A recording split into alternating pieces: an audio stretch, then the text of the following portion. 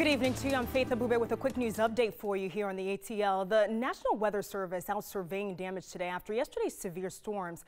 Officials just confirmed an EF0 tornado touchdown in Paulding County and then traveled about four miles into Cobb County. The most damage they saw there was on Christie Drive.